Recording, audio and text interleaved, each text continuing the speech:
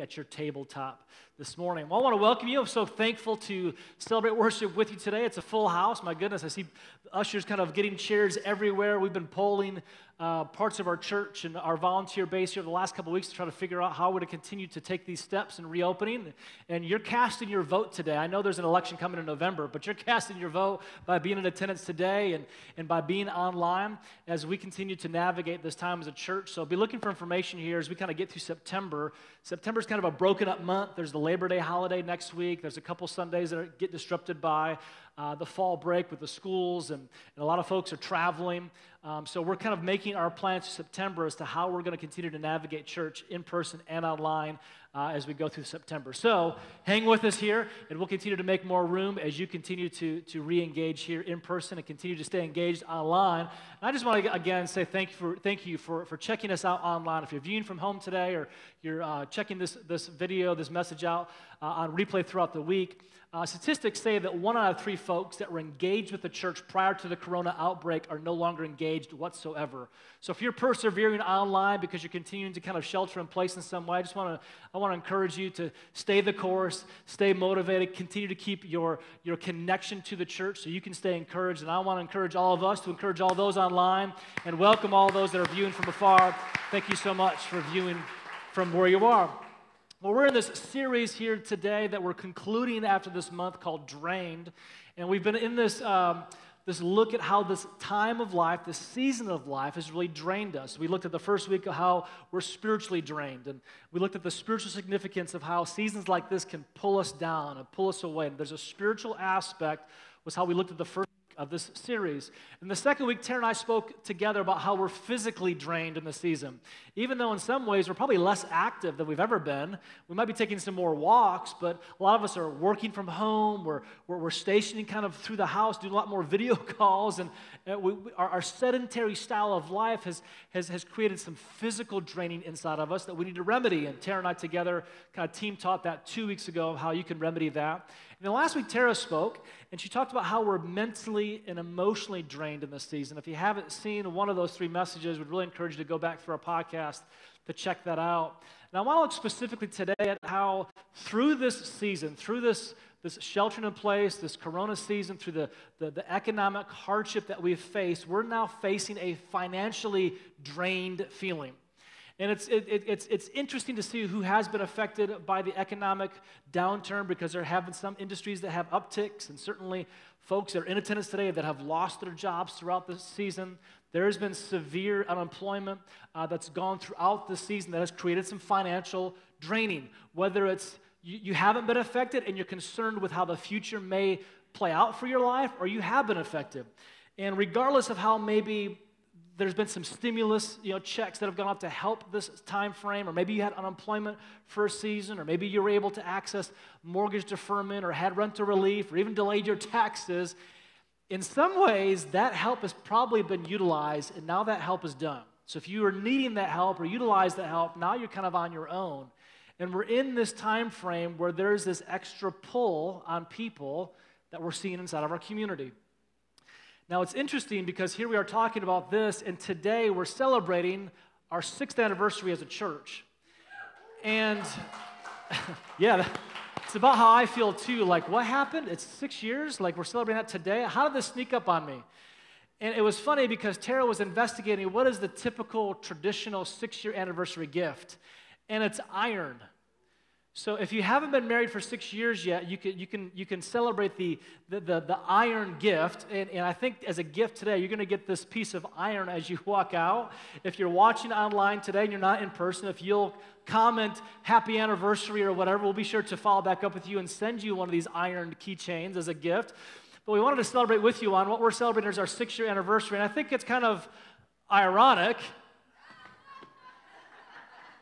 that in this difficult, drained season, we're trying to celebrate what, what is supposed to be a, a, a happy time, right? And this snuck up on me, I'll be honest. We, we were kind of planning this out the last several weeks, and I thought, like, it's coming up now. Like, we're supposed to be celebrating and having cupcakes and sharing memories, and there's, there's pictures on all your tables of the last six years. And I took this one because this was our, our Frozen event. This is me and my wife posing with Anna and Elsa. I didn't want any of you to see that one, so this one is mine up here. But there's, there's pictures of the last six years of our church on the tables, and I thought, man, this, this doesn't feel like a celebration because I think I feel drained, you probably feel drained. I see drained people everywhere. And it just it, it's it's it's ironic that iron is the celebration gift, and iron literally means, and I thought this was so significant. Uh, the significance of iron being the six-year anniversary gift is it's supposed to symbolize the strength of a loving bond. And that's probably why inside of your first six years, you need some ironclad tendencies to a marriage and some ironclad hope in, in your relationship with Christ and your, your family at church because there's a lot more road to, to hoe, right? To really make this a, a full marriage together, a full life together. There's a lot more ways to go. And I just think for, for 2020, as tough as it's been, this is, this is such a, an ironic symbolism to how we need to remedy the, the drained feeling that we have in our life right now.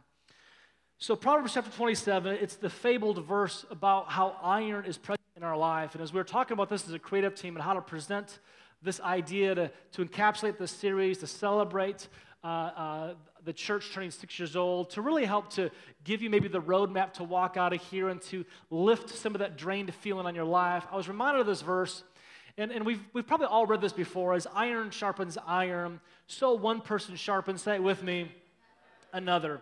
And what's important about this is it takes two pieces of iron, in other words, two people, for the sharpening to happen. And as I looked at this verse here in the NIV version, the NLT, the New Living Translation, gives a little bit of a, of a more friendly version here. As iron sharpens iron again, so a friend sharpens a, a friend. And it makes it more personal. It's not just one and another, but it's two having the same purpose, the same calling. I looked further into other translations. Other translations has, as iron sharpens iron, a friend sharpens the countenance of a friend. The friend sharpens the mind of a friend. The friend sharpens the character of a friend. Another translation said, as iron sharpens iron, a friend sharpens the wit of a friend. I would like some better wit. My wife is witty. My whole life is just pitching up softballs to her that I've spent three days thinking about, and she just dings them right back at me. I pick up that one, I go back to my room, I think, and I hem and haw, and then I come up with another one, and she dings it right back at me. So I'm hoping that one day, one day I'm going to catch the wit that she has. I have not gotten that yet. She must not be as friendly to me as I am to her. But anyway, that's for another, another topic. Another translation was, is iron sharpens iron, so a friend sharpens the face of another. How would you like that as you get older? Some natural Botox and face lifting, huh? You just got to get in there and have irony with one another. And the last translation I found was, as a friend sharpens a friend, it sharpens the person of another. And I thought, man, how, how great is that? That as you connect with someone else, as you, as you engage in this relationship with Christ and this, this pursuit of faith, that as iron sharpens iron, the person who you are can become stronger. My MacArthur commentary says that iron sharpens iron, and it defines it as the benefit of intellectual discussion that encourages the joy through a keener mind and the improvement of good character, which the face will reveal. So you can see how that scripture is trying to pull out the wit, the character, the countenance of your face, because your face becomes the window to our soul and really the, the thermometer to how our engagement in our spiritual life is really happening on the inside. So, my hope today is that we'll help you to grow in your next step of God by helping you realize that iron is a weight that actually strengthens and straightens things out. That, like an iron will, will iron a shirt, as you engage with others, as iron sharpens iron, it helps to straighten helps to strengthen, helps to bring out the best of you, but it takes engagement. And usually, a season of draining forces disengagement. It forces you to retreat into a hole and to, to pull back and to isolate yourself. It's the exact opposite of what God wanted you to do when you needed more forming to take place. So if you got your note sheets today, they're available on your table. If you're tracking along with us online, taking some notes, I hope you'll, you'll track along with us here because I, I want to share a story that you've probably read in a completely different context in the past. It's a well, it's a well told parable in Scripture. In a lot of ways, I think it's mishung. And as we look at this draining season that we're in, as we look at the, celebration of a church that we're in, as we look to try to empower our community and our country through a time of division, through a time of, of not having a connection that's sharpening, but a, a connection that's withdrawing and dulling one another, I want us to look at this passage here in Matthew chapter 25, verse 14. And I love the way this passage starts off because Jesus is telling the story and he's painting a picture. And he says again, in other words, I've already told you the story once, but allow me to tell you again in a different way because y'all didn't get it the last time I told you. So this gives me confidence that Jesus had to remind people in person that you and I are still missing out on the message here today. So here's this idea again, say it with me the. So he's about to tell a story that's just like what it's going to be like when we get there in heaven. So again, the kingdom of heaven can be illustrated by the story of a man going on a long trip. And Jesus telling the illusion of one day I'm going to leave you and I'm going to come back. Jesus is still gone on his long trip. So he called together his servants. Everybody say, That's me. That's you. That's me. He called his servants and entrusted his money to them, excuse me, while he was gone. Now, if you ever thought that financially your financial life was independent of your spiritual life, allow this scripture here to, to help you to realize that how you steward your money, how you handle your finances, is actually a spiritual act. Now, I'm not even talking about giving right now. I'm talking about how you handle your paycheck, the whole paycheck. The way you handle what he calls his money, not yours, what he gave you, what he entrusted you with, is a spiritual act. And if you have the physical, mental, emotional, drained feeling right now, it might be because you're not handling the way He intended the kingdom of heaven to operate. The passage goes on in verse 19, and it says that after a long time, the servant's master returned from his long trip, and he called them to give an account of how they had used his money. What's interesting about this passage is that apparently God is keeping track of how you keep track. He's keeping track of your trip to racetrack. He's keeping track of, of how you utilized money towards fun and towards savings and towards retirement. He's keeping track of how you engaged his money. So, how are you engaging his money? Well, if we backtrack through the, the, the story here and we go back to verse 15, he gives this distribution. And it's interesting because he gave five bags of silver to one of the servants, he gave two bags of silver to another servant, and one bag of silver to the last servant, dividing it Okay, you, kind of kind of fell off there. I, I think some of you are like, man, why did I end up being the last servant who only got one bag of silver? So you got you got to the point where you're supposed to read and you disqualified yourself. So I'm going to start again when we get to the highlighted part. If you missed it in the first couple times, that's where you all kind of say it together as well as you online. So the, the man who went on a long trip, who's symbolic of what it's going to look like in heaven, he gave five bags of silver to one servant, two bags of silver to another servant, and one bag of silver to the last servant, dividing it And there's we start looking at, well, see, there's where we're not common, like you, like you talked about in the, in the offering segment, Pastor. That there's where there is diversity and difference among us people here on the earth. That's why we see the divide when, when shootings and, and responses and protests like the shootings happen. And there's where, where, where on social media we continue to part the seas of, of God's children and begin to create division throughout our whole country because we think that God divided us when in actuality, he started you somewhere, but He also gave you the ability to expand where you're at. He gave you the ability to grow beyond your initial limitations because He never looked at what you have as a limitation. He looked at your ability to expand where you're at and grow into the faith that He's given you, the faith of a mustard seed that could say to this mountain, move from here to there, and it'd be so.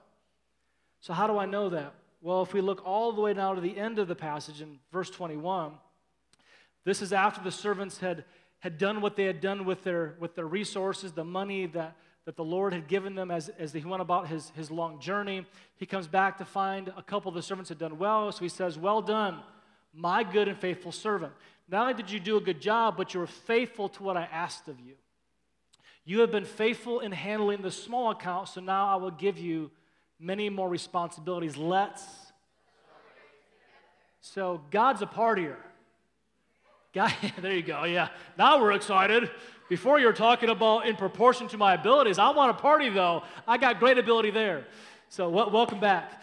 Uh, so God wants to party. And, and I'll be honest, I always looked at this passage through the wrong context prior to this week because I looked at this passage as this was probably what St. Peter was going to say to me after I lived my life and died my natural death here on earth and got to go to heaven. That St. Peter would be at the gate and he'd say this phrase Hey, well done, good and faithful servant. You were a good Christian. You were faithful to your wife. You raised your sons and you, you fulfilled the calling and the purposes I placed in your life to serve in this, in this earth. Come on in and enter the Lord's joy. And there I was reminded that the only time in Scripture that we're told, Well done, a good and faithful servant, is in response to how we handle our finances, our whole finances, not just our giving, but our, our whole paycheck. Like God wants to know that we did something well in this earth with all of His money. And it's interesting because what, what I was misconstrued about this passage is really going to become the introduction to what we're going to get into in September. September, we're going to introduce a series in a couple weeks uh, entitled Did Jesus Really Say That? And it's kind of interesting because a lot of us live by ideology. It's the thought that we have that we think is good and true and right, and it's probably scripture. But it's, it's, it's, it's principles that we live by that Jesus or the Bible never said. And what we're going to have in the month of September is kind of a debunk of some of the thoughts and the principles that we live by that are not actually true. And what this series in September is going to help for us to set up for the month of October is a series that I think I'm going to publicly commit myself to now because we've talked about it as a staff. We've talked about it in our creative meetings where we talk about how to present these messages. We've even talked about it in our diversity and equality group of how we're trying to find ways to bring social justice into the communities around us. And it's a series in October that I don't have a slide for yet because we haven't kind of uh, crafted it. But the idea is going to be the elephant, the donkey, and the lamb. And the illusion is yes, there's actually three parties running for office this, this November. And you're going to have to vote, you're going to have to cast a vote for one of, one of the donkeys or the, or the elephants. But in reality, you're going to have to bring faith to your vote. And how you bring with your faith to the shortcomings of your particular candidate. So I understand that early battling is going to be made available to Georgia in middle of September, and this series will actually be middle to late of October. So we're not positioning this, this series to help position your vote or, or sway your vote or even educate your vote. In fact, that, it'll be none of that. The reality will be is however you vote, from the local mayor to the president of the United States, you're going to violate Scripture when you cast that vote. Because there aren't candidates that fulfill the absolute nature of Scripture. So you have to have faith in your vote, which is why you've got to go to the polls. But when you bring faith in your vote, then you have to vote your faith because the reality is, is your prayer should be not calling out the sins of the candidate you don't support, but praying for the faith in the shortcomings of the candidate you do support. And that's where the donkey and the elephant have let us down. And that's where the lamb's going to have to lift, lift us up in this season. And that's where I'm sad to see our country going the way it has this past week and this past season. And I'll be honest, I don't see a change. I think, I think we're a generation away from scratching the surface.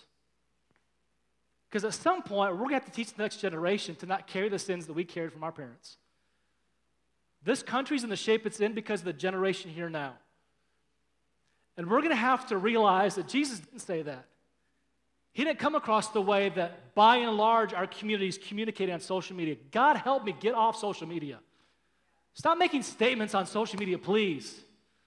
Stop making introductions to arguments that you run through the comments and further. Do, I know you've got a great point.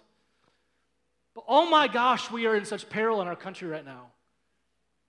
There's no common union amongst the people of our nation, the people of our world, because we're helping to divide it by positions that we try to hold. At the end of the day, we shouldn't be calling out the sins of others. We should be lifting up in faith the trouble and the hope that, that God can overcome the sins of those that we love the most. And that's where the church is going to have to come in.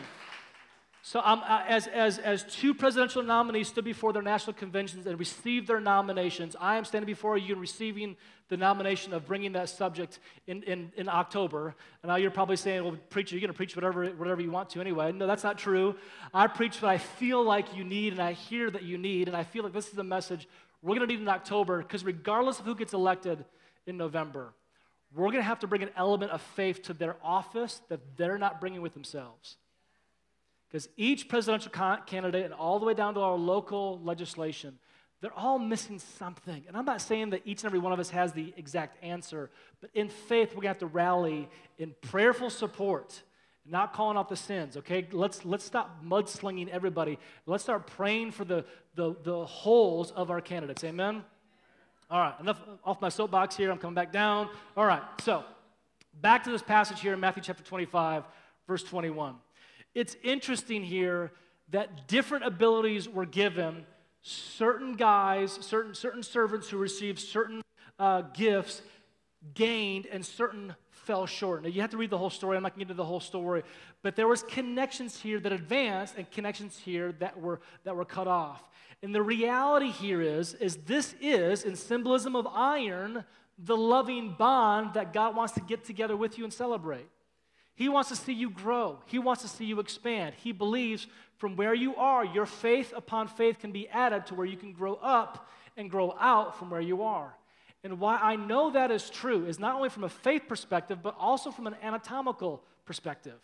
We're reading this book right now as a staff called Deep Work, and it talks about how to shut off the distractions, how to Part of the book is literally taking a 30 day vacation from social media so that you can disconnect from all things that grab your attention. You can actually focus in on the deep work that you're being called to accomplish.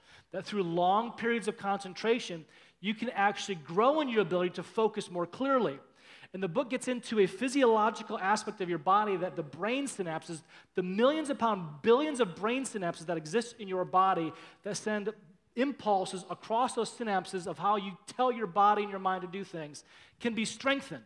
This is kind of funny. The book says that a fatty tissue can grow over those synapses, helping you to engage in that thought process more regularly because it creates an insulation so you can go back to that thought pattern. The more you practice it, the more it gets strengthened, the more you can repeat that thought pattern. So, if you've ever had a bad habit that you wanted to break, the point is to focus your mind on breaking the habit, not sitting in the habit, because the longer you do the habit, the more the fatty tissue insulates that habit synapse, the more you keep recreating that poor habit. But if you can focus on the right thing, that synapse grows and gets stronger. Now, those of you trying to lose weight and say, well, Pastor, that's why I don't do deep work, that's why I don't focus, because I'm adding more brain fat. I can't take any more fat anywhere. But I, am calling you to grow in your ability because God wants to celebrate the fact that He geared your body and your mind to grow in that particular aspect. Isn't that good news? okay, I just blew your mind scientifically. I was in a pre med program before I got saved. That blows my mind because when I sit down and think, I think, God, you, you actually want to create a loving bond with me that is sharpened by others if I'll just focus on the things I need to focus on. Of how I can have a weight in my life that straightens and strengthens myself to where I can celebrate with you and not fall to the wayside and fall away in, in isolation away from others. So, how are we going to be strengthened by others? How are we going to be strengthened um, uh, through the, the relationship, the countenance, the wit, the person of others? As iron sharpens iron, number one, we've got to have to look at ourselves. We have to look at ourselves. We have to look at the internal heat that's going to have to become part of our life that'll bring the molding process by which the iron sharpening iron is the illustration of. You can't sharpen iron until you heat the natural elements of it to where it becomes hot. It becomes hard to handle. It becomes uncomfortable. But in that, as the heat gets raised in your own life, you now become pliable to be able to be do- done something with. So, passage here in Leviticus chapter 26, verse 19, that God is speaking to his people in the Old Testament. He says, I will break down your. He talking to you and he talking to me. He's going to break down your stubborn pride and make the sky above you like iron. Interesting how he wants to take iron to sharpen iron and break the iron out and off and away from your life. In other words, when it comes to our financially drained feeling of life right now, do you even know where you are financially? Now, if you're married and it's, it's the spouse that kind of carries the finances, I get it because, you know, pardon the pun, there's, there's kind of a, a yin to our yang, and it's okay if you're not the financially minded person in your relationship. But if neither you of you are, then you need to invite someone in that can help speak to the financial forecast of where you are. Otherwise, the sky is going to fall like iron in your life, and you're never going to have the freedom from that drained feeling that you want to have. You've got to have a roadmap and a plan that you're trying to, to, to, to, to go down. I had a friend at one point who um, had a really good job, made really good money that required him to travel quite a bit, but his finances were a wreck. And he couldn't carry a personal credit card, but the job required him to, to more or less personally expense all of the, all the expenses he had when he traveled. He'd come back, turn the receipts in, and get reimbursed. So, because he didn't have a credit card and because he didn't have the cash to kind of float that kind of expense from report to report, he'd go on these business paid trips and not be able to eat dinner and sleep in the hotel on an expense paid trip where he doesn't have the expense to actually eat. It's like, bro, you can't live like this. He goes, Well, I just, I don't know where we're at. We haven't paid our taxes in five years. And this was his phrase to me I don't even want to look at it. It's like, well, man, you, you can't get out of where you're at in this uncomfortable, drained feeling until you get your hands on it. Well, me and my wife are just not good at it. Well, then invite someone into the story to help walk you through it. The courage to face the change that is needed is not the, the idea that, well, I just want to ever look at it. That doesn't take courage. That, that's the isolation that's draining you. But you're going to have to engage and you have to heat some things up a little bit inside of yourself where iron can strike iron and the friend can help bring about the countenance of a friend. Someone say amen. Secondly, for iron to get sharpened, something's got to happen within our family. When I say our family, is once you get heated up within yourself, Here's where the sparks fly, where the iron actually strikes the other iron that's hot and malleable and been exposed to some things, and, and some, some collisions are taking place inside of your relationships and your marriage and, and, and, and your family. And there will be some collisions over how we spend money, and we kind of have to collide in those conversations to realize how to strengthen and sharpen ourselves. Until you have those collisions, you don't know where you're out of financial shape where you haven't garnered the edge that'll be applicable for you to go about what God has called you to do.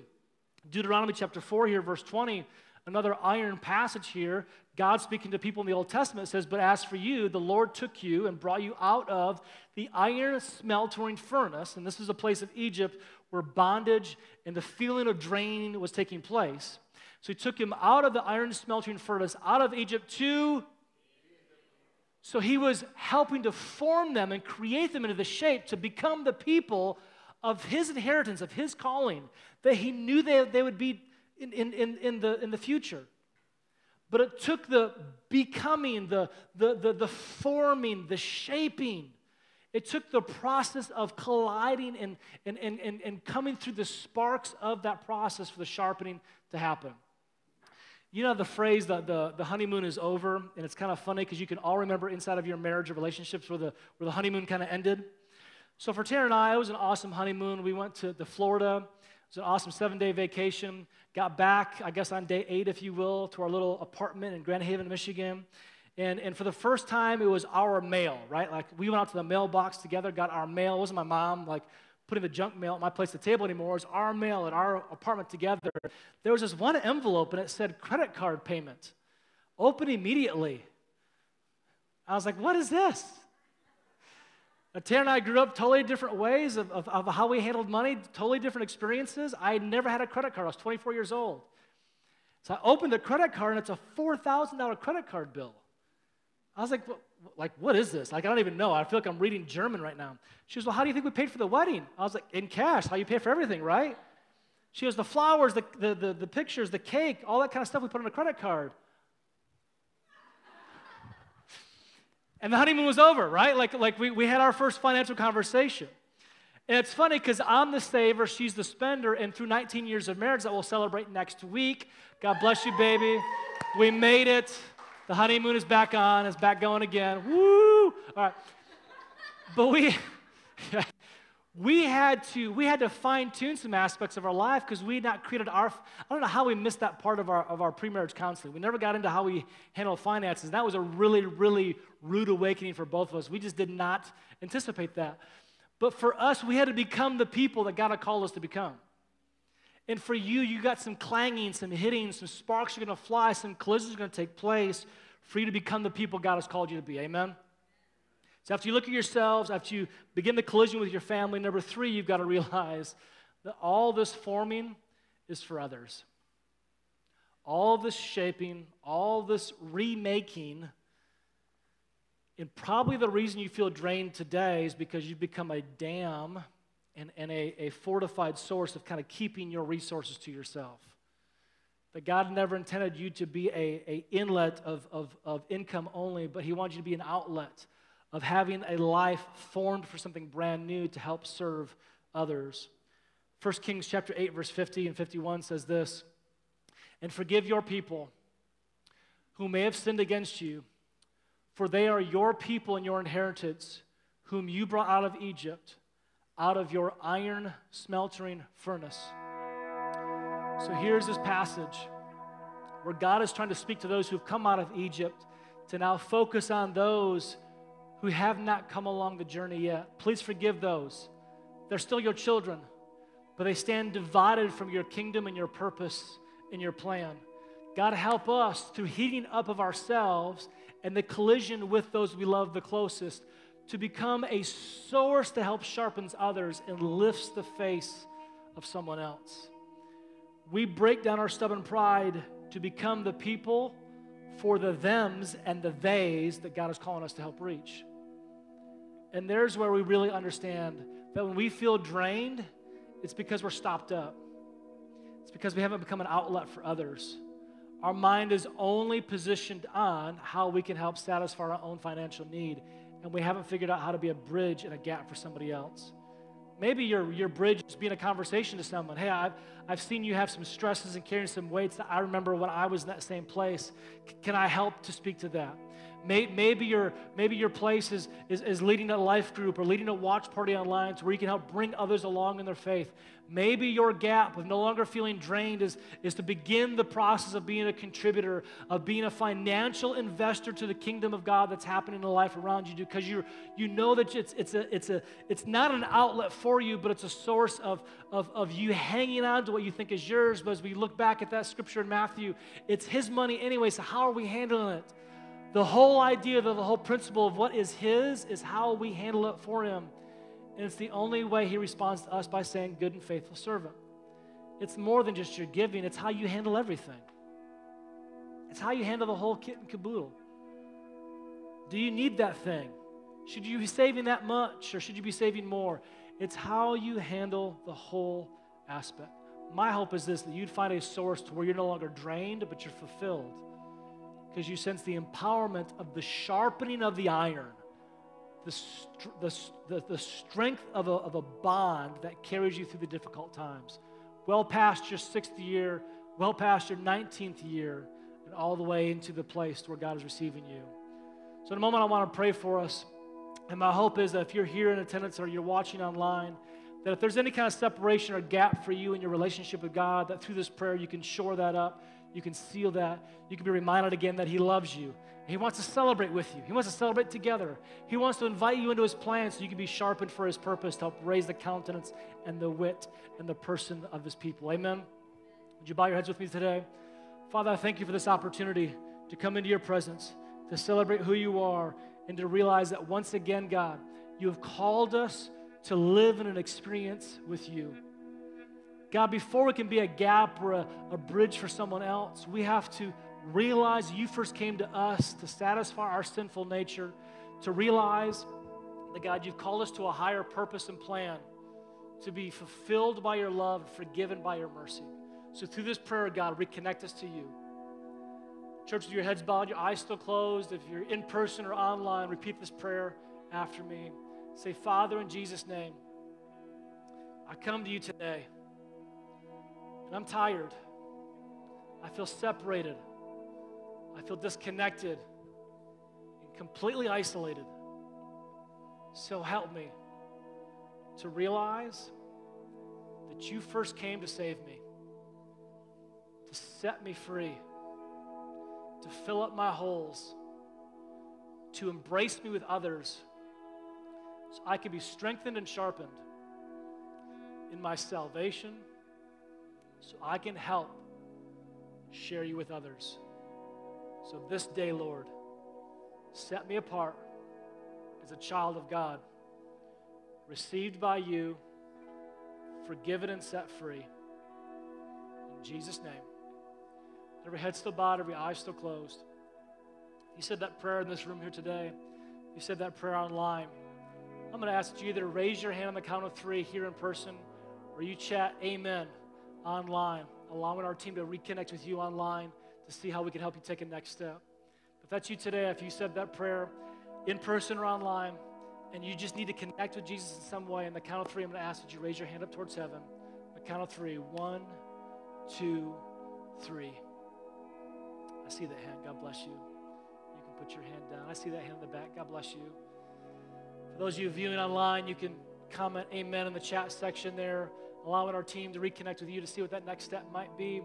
For all of us, a step might be to, to sign up for water baptism.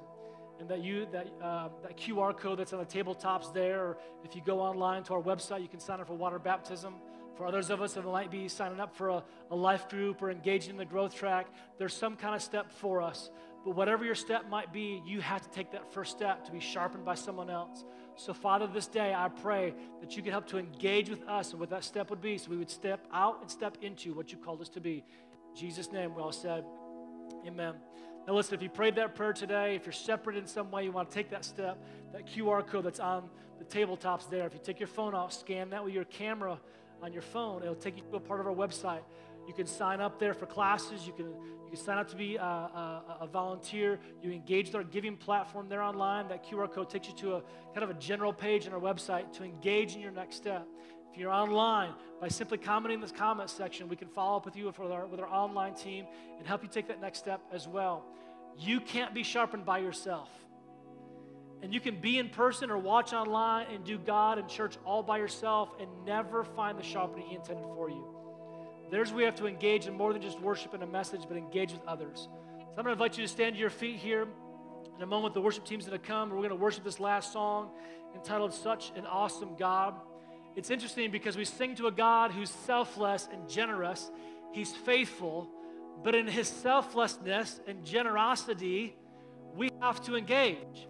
And by engaging with Him, it empowers us and encourages us to engage with others so we can realize that selfishness and that generosity doesn't only come from God, but it comes to us to flow through us into the life of others. So may, may this song encourage us today to truly carry us into that engagement. Father, we thank you so much for this opportunity to worship with you, to stand with you, God, to sing a song with you as we walk out of this place, not to be just living inside of this place, God, and to allow our faith to be heightened here, but to allow it to be a tidal wave that goes out to saturate our whole community. God, to help us in this time, in this place, in this opportunity to be fulfilled by you, to take steps with you, and to walk out of here encouraged and engaged like never before. God, to truly walk out how you've encouraged us to be sharpened by the life of others so we can sharpen those. We want to raise the personhood and the character and the countenance of. In Jesus' name, we all said, Amen. Let's think about that selfless.